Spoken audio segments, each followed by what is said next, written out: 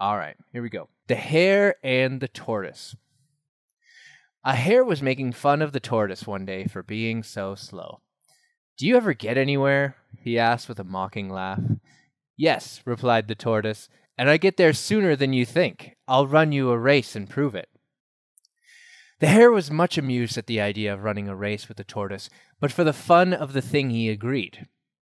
So the fox, who had consented to act as judge, marked the distance and started the runners off. The hare was soon far out of sight, and to make the tortoise feel very deeply how ridiculous it was for him to try a race with a hare, he lay down beside the course to take a nap until the tortoise could catch up.